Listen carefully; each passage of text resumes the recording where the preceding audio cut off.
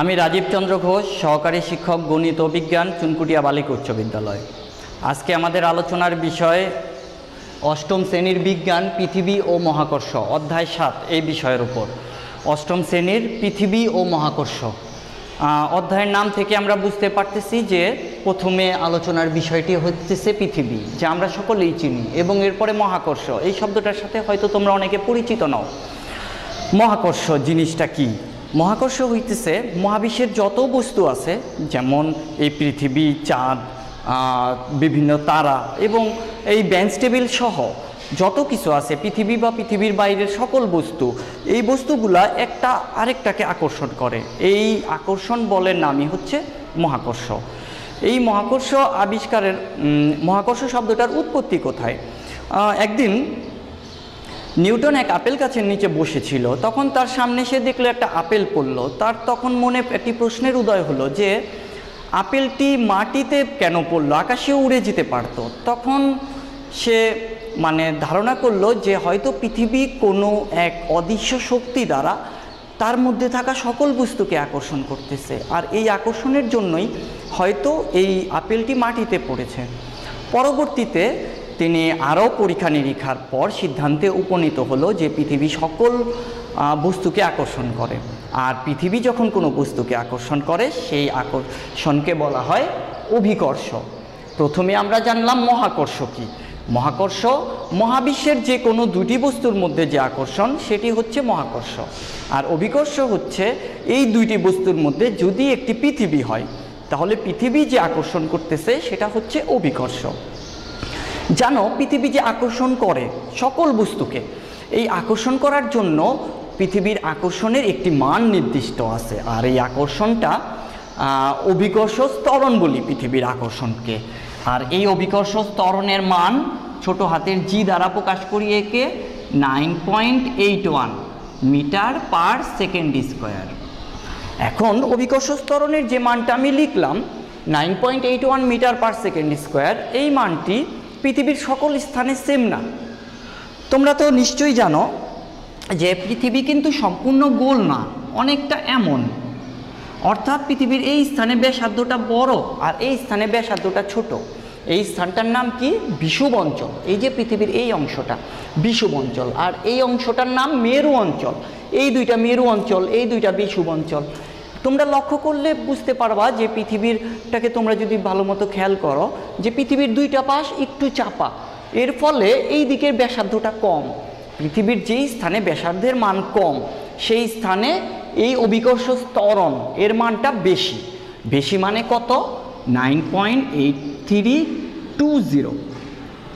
আর যেখানে পৃথিবীর ব্যাসার্ধটা বেশি, সেটা হইতেছে অভিকর্ষ স্তরণের মান কম নাইন পয়েন্ট সেভেন এইট এখন এই দুইটার মাঝামাঝি একটা অঞ্চল আছে, যেটাকে আমরা ক্রান্তীয় অঞ্চল বলি। এদিক থেকে যদি আমরা ফোর্টি ফাইভ অ্যাঙ্গেল করে যাই, তাহলে যে ক্রান্তীয় অঞ্চলটা পাবো, সেখানে অভিকর্ষ স্তরণের মান হচ্ছে nine point eight zero six six five এটাকেই আমরা হিসাবের সুবিধার জন্য নাইন পয়েন্ট এইট ওয়ান লিখে থাকি। তাহলে আমরা জানলাম, পৃথিবী সম্পূর্ণ গোল নয়। তো পৃথিবী সুষম গোলক না হওয়ার কারণে উপরে নিচে খানিকটা চাপা মেরু অঞ্চলে। তো মেরু অঞ্চলে অভিকর্ষ পৃথিবীর ব্যাসার্ধটা কম হওয়ার কারণে মেরু অঞ্চলে অভিকর্ষ স্তরণের মানটা খানিক বেশি। আর পৃথিবীর ব্যাসার্ধটা বিষুব অঞ্চলে বেশি এবং বিষুব অঞ্চলে ব্যাসার্ধ বেশি হওয়ার জন্য অভিকর্ষ স্তরণের মানটা কম। আর অভিকর্ষ স্তরণের মান ফোর্টি ফাইভ অ্যাঙ্গেলে আমরা একটা ক্রান্তি অঞ্চলের যে মানটা আসে সেটাকেই আমরা আদর্শ মান ধরে নিয়ে আমরা কাজ করি। তাহলে আমরা কি কি জানলাম? মহাকর্ষ জানতে পারলাম। মহাকর্ষ কি? মহাবিশ্বের যে কোনো দুটি বস্তুর মধ্যে যে আকর্ষণ, সেটি হচ্ছে মহাকর্ষ। তারপর আমরা জানলাম অভিকর্ষ কি? অভিকর্ষ হচ্ছে যদি দুইটি বস্তু যে আকর্ষণ করতেছে, এই দুইটি বস্তুর মধ্যে একটি যদি পৃথিবী হয়, এই পৃথিবী এবং অপর বস্তুর মধ্যে যে আকর্ষণ, সেটা অভিকর্ষ। এখন তোমাদের মনে একটা প্রশ্ন জাগতে পারে, পৃথিবীর মধ্যে রহিম এবং করিম দুইজন বালক আছে। তাহলে এই দুইজন বালকের মধ্যে যে আকর্ষণ সেটা কি অভিকর্ষ না মহাকর্ষ তোমাদের মনে প্রশ্ন জাগতে পারে যে পৃথিবীর মধ্যেই তো তারা আছে। এখন এই রহিম এবং করিম, এরা দুইজনের কেউই কিন্তু নিজে পৃথিবী নয়। তাই এই দুজনের মধ্যে যে আকর্ষণ, সেটি হচ্ছে মহাকর্ষ। এবং পৃথিবীর সাথে রহিমের যে আকর্ষণ বা পৃথিবীর সাথে করিমের যে আকর্ষণ বা পৃথিবীর সাথে চাঁদের যে আকর্ষণ বল, সেটি হইতেছে অভিকর্ষ। এবং আমরা অভিকর্ষ ত্বরণ সম্পর্কেও জানতে পারলাম। কিন্তু নিউটন এই মহাকর্ষ সূত্রটিকে একটু ভিন্নভাবে উপস্থাপন করেছে এবং আরও বিস্তারিত উপস্থাপন করেছে। আমরা, আমি একটু আগে তোমাদের যে মহাকর্ষ সম্পর্কে বললাম, সেটা খুবই সহজভাবে তোমাদের সামনে উপস্থাপন করলাম। কিন্তু নিউটন যেভাবে উপস্থাপন করেছে, আমরা যদি সেভাবে একটু জানতে চেষ্টা করি, তাহলে একটু লক্ষ্য করো। নিউটন একটা সূত্রের কথা বলছে F equal G M one M two by D square এইখানে এই জি হইতেছে মহাকর্ষীয় ধ্রুবক।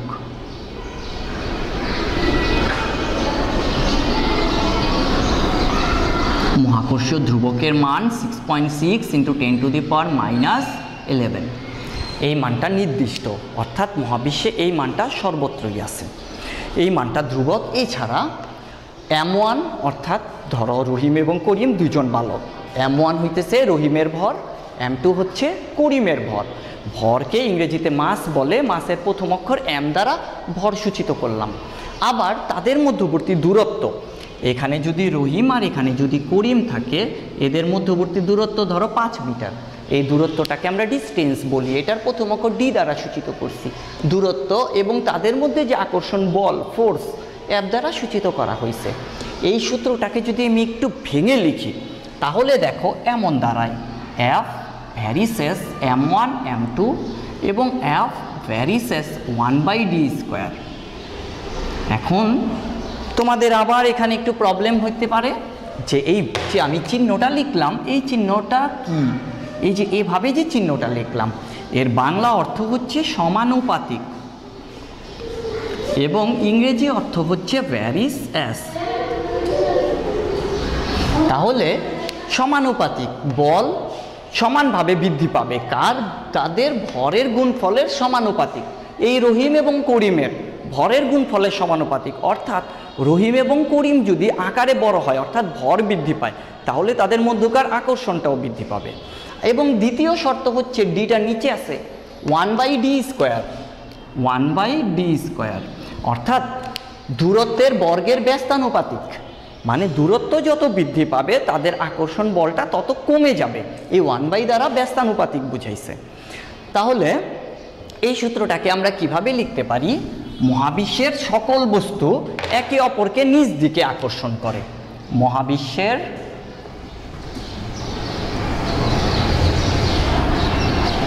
সকল বস্তু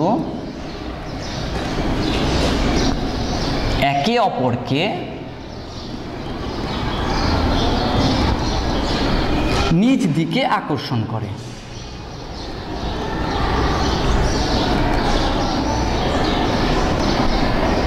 এর মানে মহাবিশ্বের সকল বস্তু একজন আরেকজনকে আকর্ষণ করে। রহিম করিমকে আকর্ষণ করে, করিম রহিমকে আকর্ষণ করে, আবার পৃথিবী রহিম করিম উভয়কে আকর্ষণ করে। এইভাবে সকল বস্তুর মধ্যে একটা আকর্ষণ বল বিদ্যমান।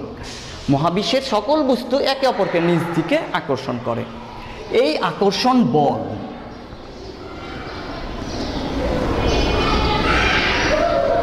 এই আকর্ষণ বল অর্থাৎ এই এফ বস্তু কণাদ্বয়ের দুইটি কণা আমরা এম ওয়ান এবং এম টু দ্বারা চিহ্নিত করলাম, যাকে একটু আগে আমি রহিম এবং করিমের সাথে তুলনা করেছিলাম।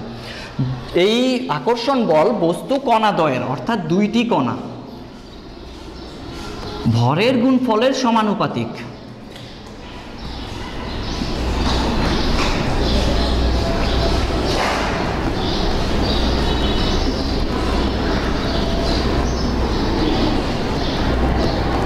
ভরের গুণ ফলের সমানুপাতিক। অর্থাৎ এই যে দেখো, দুইটি এম ওয়ান এবং এম টু, দুইটি বস্তুর ভর, এই দুইটার গুণ ফল এরা কিন্তু গুণ সম্পর্কে আছে।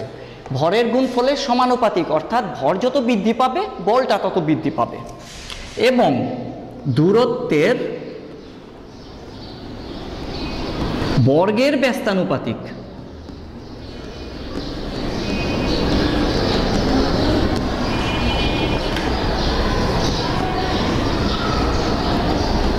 দূরত্ব এই জি ডি দূরত্ব নির্দেশ করতেছে। স্কোয়ার মানে বর্গ নির্দেশ করতেছে। দূরত্বের বর্গের ব্যস্তানুপাতিক মানে যত দূরত্ব বৃদ্ধি পাবে তত আকর্ষণ কমে যাবে। আবার দূরত্ব যদি হ্রাস পায়, আকর্ষণ বৃদ্ধি পাবে। তাই ব্যস্তানুপাতিক বলছে মানে উল্টোটা হচ্ছে বলে।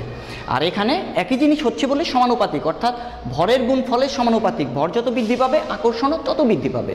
আবার দূরত্ব যত বৃদ্ধি পাবে, আকর্ষণটা তত হ্রাস পাবে। তাহলে ভরের গুণ ফলে সমানুপাতিক, দূরত্বের বর্গের ব্যস্তানুপাতিক। এবং এই বল সংযোজক সরল রেখা বরাবর ক্রিয়া করে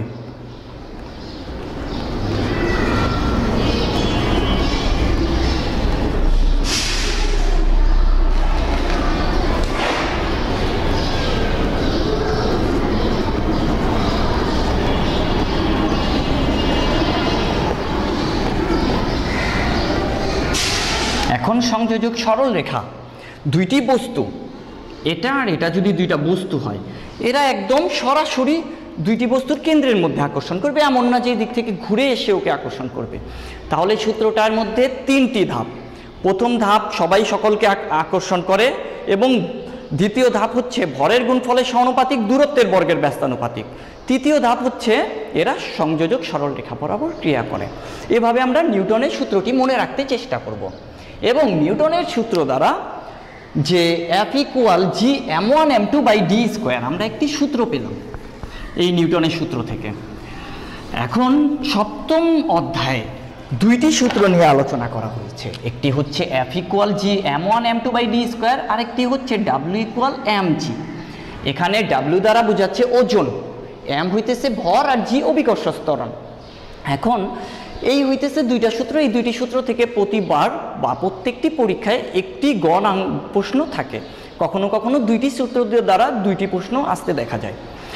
এখন এই সূত্রটি যদি আমরা লক্ষ্য করি, প্রশ্ন হচ্ছে এই দুইটি থেকে পরীক্ষা একটি আসবেই, সব সময় আসে। এই দুইটির মধ্যে এই সূত্রটি আমরা নিউটন থেকে পেলাম, আর এই সূত্রটি কি? W equal M G W হইতেছে ওজন এম হইতেছে ভর এবং জি অভিকর্ষ স্তরণ এইটা ওজন, এটা ভর। অভিকর্ষ স্তরণ তো একটা ধ্রুবক সংখ্যা আমরা জানলাম যে অভিকর্ষ স্তরণের মান হচ্ছে নাইন পয়েন্ট এইট ওয়ান এবং এটা ওজন, এটা ভর। এই ওজন আর ভরের মধ্যে তোমাদের মনে একটা কনফিউশন কাজ করতে পারে যে ওজন কি আর ভর কি। দুইটা তো একই বলে মনে হয়। অনেকের এক্ষেত্রে মানে এমনটা মনে হতে পারে।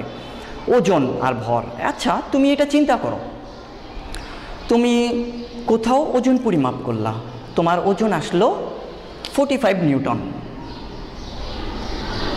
একটু পর তুমি আরেক দোকানে গিয়ে আরও দূরে কোথাও গিয়ে ওজন পরিমাপ করলা। সেখানে গিয়ে তোমার ওজন আসলো পঞ্চাশ নিউটন।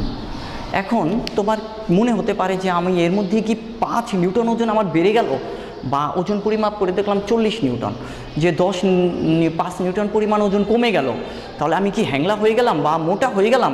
ব্যাপারটা এমন না। আমি যা ছিলাম তাই আছি। এই ব্যাপারটা হইতেছে ভর। অর্থাৎ আমি যে বস্তু দ্বারা তৈরি, প্রত্যেকটা বস্তু যে পদার্থ দ্বারা তৈরি, সেই পদার্থে বস্তুর নিজস্ব পদার্থের পরিমাণ হচ্ছে ভর। আর ওজন হইতেছে এই ভরের ওপর পৃথিবীর আকর্ষণ। দেখো, মনে করো আমি পাঁচ কেজি আমার ভর। এবং আমি বাংলাদেশে পৃথিবী আমার ওজন পরিমাপ করলাম। বাংলাদেশে বিষুব অঞ্চলে। তখন আমার নাইন পয়েন্ট এইট থ্রি দ্বারা গুণ করলাম, আমার ওজন একটি মান আসলো। আবার মনে করো আমি রাশিয়া চলে গেলাম। রাশিয়া হইতেছে মেরু অঞ্চলে অবস্থিত একটি দেশ।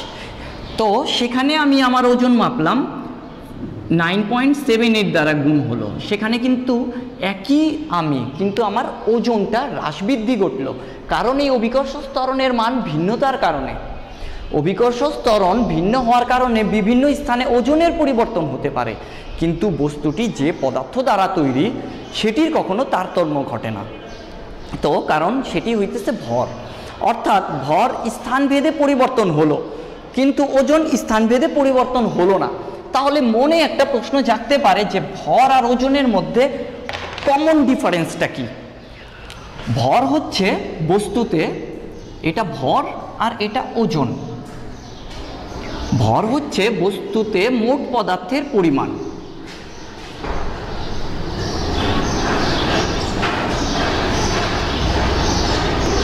অর্থাৎ কোনো বস্তু যে পদার্থ দিয়ে তৈরি সেগুলোর সমষ্টি। আর ওজন হচ্ছে বস্তুর ওপর পৃথিবীর আকর্ষণ বল।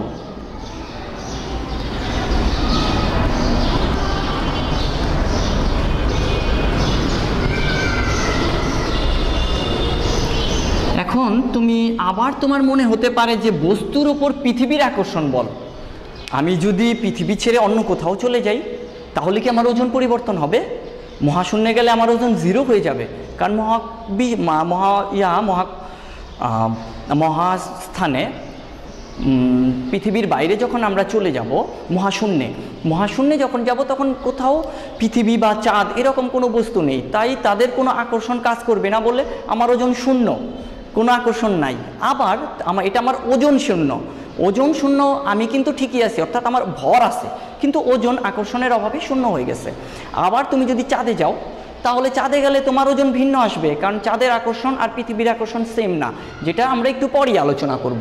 তাহলে ওজন হচ্ছে বস্তুর ওপর পৃথিবীর আকর্ষণ বল, যখন আমরা পৃথিবীতে আসি আর ভর হইতেছে বস্তুতে মোট পদার্থের পরিমাণ এখন তোমার আরও একটা জিনিস মনে হতে পারে যে, ভর আমি কি দিয়ে মাপবো আর ওজন কি দিয়ে পরিমাপ করব।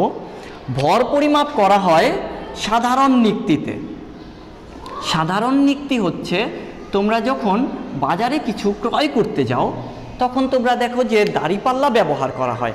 সেই দাড়িপাল্লায় যে আমরা বস্তুটা পরিমাপ করি, সেটা হচ্ছে ভর পরিমাপ করি। আর ওজন পরিমাপ করা হয় স্প্রিং নিক্তি দ্বারা। স্প্রিং নিক্তি হচ্ছে আংটার মতো ঝোলানো একটা ব্যবস্থা যার মধ্যে যেই বস্তুটা রাখলে তার ওজন নির্ণয় করা সম্ভব। এমনকি আমরা বিভিন্ন ক্ষেত্রে যে ওজনগুলো পরিমাপ করি, সেটাও নিচে স্প্রিং নিক্তি বসানো থাকে ওজন পরিমাপের জন্য। তাহলে আবার তোমার মনে হতে পারে যে, একটু আগে আমি বললাম, আমার ওজন এত নিউটন, তো এত কেজি কেন বললাম না? এত কেজি, এই কেজি হচ্ছে ভরের একক, অর্থাৎ আমার ভর হচ্ছে ধরো পাঁচ কেজি, এটা ভরের একক কেজি, কিন্তু আমার ওজন ওই যে নাইন পয়েন্ট এইট দ্বারা গুণ করে, তখন আসবে নিউটন। তাহলে ভরের একক হচ্ছে কেজি আর ওজনের একক হচ্ছে নিউটন। আরেকটা জিনিস, স্থানভেদে ভরের কোনো পরিবর্তন হয় না। স্থানভেদে ভরের পরিবর্তন হয় না, আর ওজনের পরিবর্তন হয়। তো আমরা এভাবে ভর এবং ওজনকে পার্থক্য করতে পারলাম। তাহলে আমরা কি জানলাম? ওজন নির্ণয় করার সূত্র আমরা এখনই জানব। ভর ওজনের পার্থক্য জানতে পারলাম এবং পৃথিবীর বিভিন্ন স্থানে জি এর মান বিভিন্ন কেন সেটাও জানতে পারছি। এখন আমরা জানব ওজন নির্ণয় করা। তো আমরা তো ভর এবং ওজন দুটি সম্পর্কে আমাদের একটু ধারণা জন্মালো। এখন মনে করো রহিমের ভর দশ কেজি। তাহলে রহিমের পৃথিবীতে ওজন কত?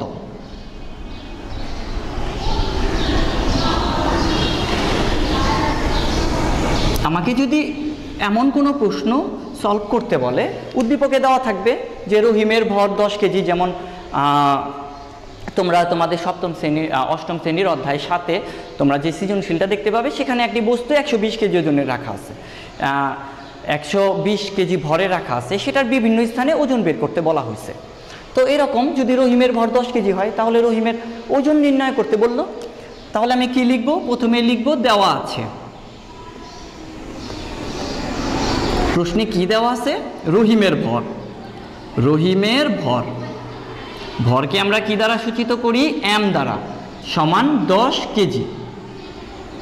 এবং তোমরা জানো যে ওজন নির্ণয় করতে একটি ধ্রুবক সংখ্যার প্রয়োজন হয় এবং ধ্রুবক সংখ্যাটি হচ্ছে অভিকর্ষ স্তরণ অভিকর্ষ স্তরণ পৃথিবীর ক্ষেত্রে nine point eight one meter per second.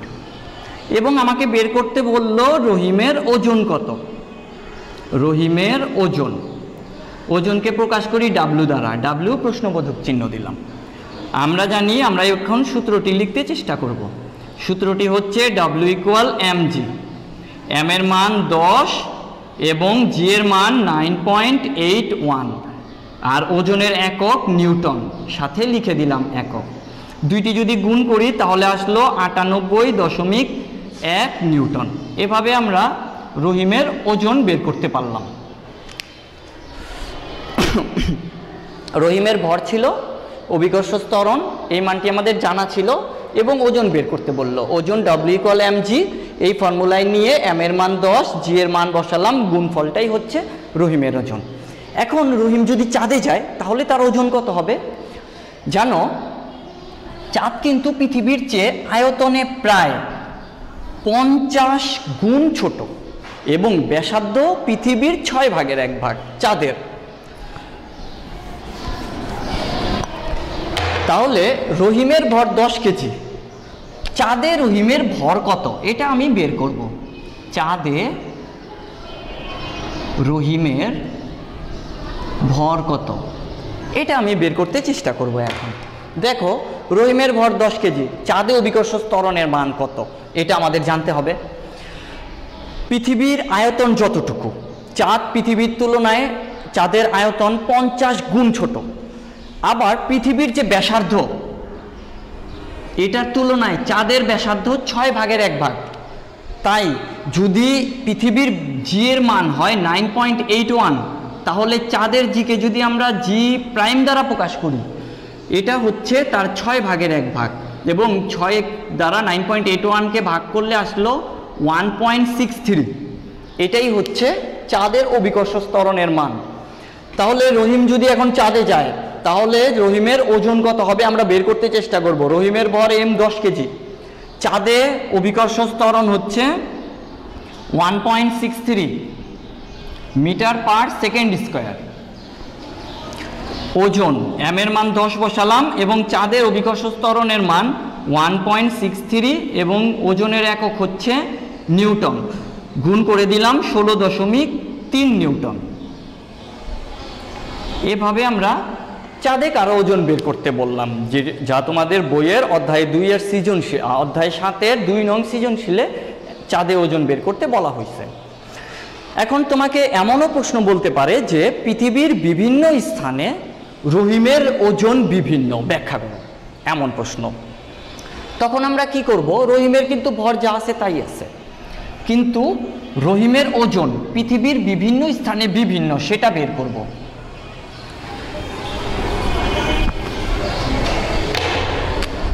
রহিমের ওজন পৃথিবীর বিভিন্ন স্থানে বিভিন্ন হয়। ব্যাখ্যা করো। এরকম প্রশ্ন চাইলে প্রথমে আমরা বিষুব অঞ্চলে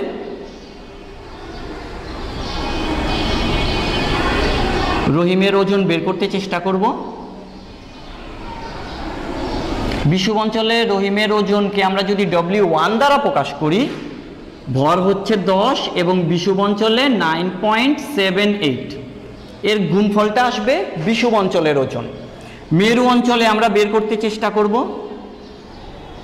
রহিমের ওজন ডব্লিউ টু দশ into nine point eight three এখানে আসবে সাতানব্বই দশমিক আট নিউটন।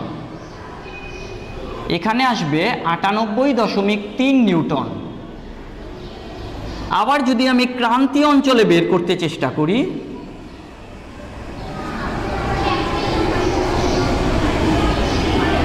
এটাকে ডব্লিউ থ্রি দ্বারা প্রকাশ করি ক্রান্তি অঞ্চলে জি এর মান নাইন পয়েন্ট এইট ওয়ান আটানব্বই দশমিক এক নিউটন।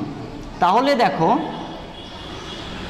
রহিম পৃথিবীর বিভিন্ন স্থানে যদি যায় বিষুব অঞ্চলে রহিমের ওজন আমরা দেখতে পাচ্ছি। ওর ভর দশ কেজি আছে, কিন্তু নাইন পয়েন্ট সেভেন এইট অভিকর্ষ স্তরণের মান ভিন্ন হওয়ার কারণে ওজন আসলো সাতানব্বই দশমিক আট। আবার মেরু অঞ্চলে যখন গেল, তখন ওর ওজন আসলো আটানব্বই দশমিক তিন। কারণ এই যে অভিকর্ষ স্তরণের মান ভিন্ন। আবার যখন বিষুব অঞ্চলে গেল, আটানব্বই দশমিক এক। তাই পৃথিবীর বিভিন্ন স্থানে অভিকর্ষ স্তরণের মান ভিন্ন আসার কারণে রহিমের ওজন পৃথিবীর বিভিন্ন স্থানে বিভিন্ন হয়েছে। এবার আজকের সর্বশেষ প্রশ্নটি হচ্ছে, রহিমের ওজন বলে দিলাম, ভর বের করতে বলল।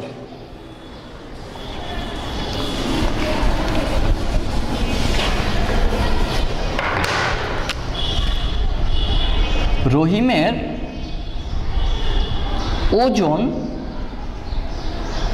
উনপঞ্চাশ নিউটন। তাহলে রহিমের ভর পৃথিবীতে কত? বা পৃথিবীতে রহিমের ভর কত?